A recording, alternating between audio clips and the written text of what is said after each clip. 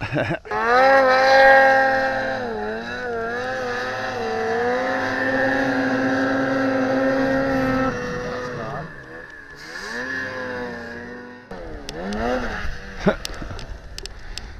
got to hit it way fast or a lot slower than that.